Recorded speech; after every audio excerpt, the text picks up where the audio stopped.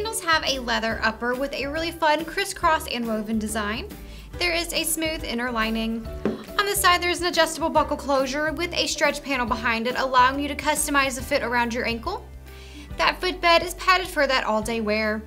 These do have a heel at the back that's going to give you a small boost in height, and underneath there is a lightly textured outsole for traction.